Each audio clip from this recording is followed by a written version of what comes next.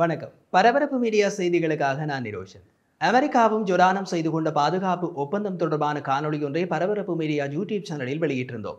அமெரிக்க படைகள் ஜொர்டானில் தளங்கள் அமைக்கவும் சுதந்திரமாக செயற்படவும் ஜொர்டானுக்குள்ளே ஆயுதங்களை பயன்படுத்தவும் சேமித்து வைக்கவும் ஒப்புதல் கொடுக்கும் ஒப்பந்தம் அது. அமெரிக்க விமானப்படை விமானங்கள் ஜொர்டானுக்குள் பறக்க யாருடைய அனுமதியும் தேவையில்லை என்பதும் அந்த ஒப்பந்தத்தில் உள்ளது. அமெரிக்காவில் ஜோ பைடன் ஆட்சிக்கு வந்து இரண்டு வாரங்களுக்குள் ஜனவரி முப்பத்தி ஓராம் தேதி இந்த பாதுகாப்பு ஒப்பந்தம் தொடர்பான பேச்சுக்கள் தொடங்கிவிட்டதாக பின்னர் தெரிய வந்தது ஒப்பந்தம் கையொப்பமிடப்பட்ட நிலையில் கடந்த மாதம் பதினாறாம் தேதி தான் அது அதிகாரப்பூர்வமாக அறிவிக்கப்பட்டது. அதாவது ஒப்பந்தம் செய்யப்பட்டு ஒரு மாதத்தின் பின்னரே பகிரங்கமாக அறிவித்தது ஜொர்டான் அரசு. ஜொரான் நாடாளுமன்ற அங்கீகாரத்துக்கு போகாமல் ஜொரான் மன்னரால் நேரடியாக ஒப்புதல் கொடுக்கப்பட்டு செய்யப்பட்ட ஒப்பந்தம் அது. நாடாளுமன்ற அங்கீகாரத்துக்கு அனுப்பப்பட்டிருந்தால் தேவையற்ற விவாதங்களும் எதிர்ப்புகளும் எழுந்திருக்கும். அமெரிக்கா அதை விரும்பவில்லை. ஜொரானை தமது முக்கிய மத்திய கிழக்கு தளமாக மாற்றுவதை அமெரிக்கா அடக்கி வாசிக்க விரும்பியது. இருந்த போதிலும் தற்போது ஜொரானிய நாடாளுமன்றத்தில் இந்த ஒப்பந்தத்திற்கு சில எதிர்ப்பு குரல்கள் எழத் தொடங்கிக் கொண்டன. முக்கியமாக ஜொரானிய எதிர்க்கட்சி ஐஏஎஃப் எனப்படும் ஜபாட் அல் அமால் அல் இஸ்லாமி இந்த ஒப்பந்தத்தை எதிர்த்து குரல் கொடுக்கிறது. ஜொடானை அமெரிக்கா தமது இராணுவ தளமாக பயன்படுத்துவதை அனுமதிக்க முடியாது.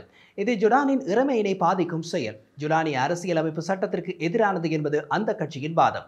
ஆனால் எதிர்க்கட்சியின் எதிர்ப்பு அமெரிக்க ஒப்பந்தத்திற்கு எந்த பாதிப்பையும் ஏற்படுத்த போவதில்லை. அதற்கு காரணம் முதலாவது இது ஜுடானிய மன்னரால் ஒப்புதல் கொடுக்கப்பட்ட ஒப்பந்தம். அதற்கான அதிகாரம் அவருக்கு உள்ளது. இரண்டாவது இந்த ஒப்பந்தம் நாடாளுமன்ற அங்கீகாரத்துக்கு அனுப்பப்பட்டாலும் எதிர்க்கட்சிகளால் அதை தோற்கடிக்க முடியாது.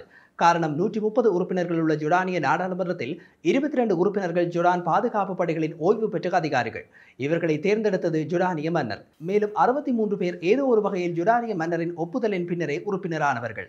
அறுபத்தைந்து உறுப்பினர்கள் கொண்ட ஜொடானிய நாடாளுமன்ற செனட்டில் அனைவருமே மன்னரால் தேர்ந்தெடுக்கப்பட்டவர்கள். இவர்களில் இருபத்தொரு பேருக்கு ராணுவ பின்னணி உள்ளது. இதனால் ராணுவ ரீதியிலான இந்த அமெரிக்க ஒப்பந்தத்தை சிவிலியன் எதிர்க்கட்சி உறுப்பினர்கள் எதிர்த்தாலும் அது நிறைவேற்றப்பட்டிருக்கும். ஆனால் பெரிய அளவு ஓசை எழுப்பப்பட்டிருக்கும். அதை அமெரிக்கா விரும்பவில்லை.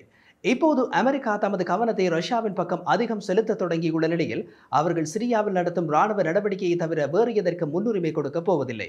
ஈரானுடன் அறிக்கை நடவடிக்கை செய்து கொண்டே காலத்தை கடத்திவிட முடியும். சிரியாவில் அமெரிக்க ராணுவ நடவடிக்கைக்கு முக்கியமாக அமெரிக்காவுக்கு தேவை இரு தளங்கள்.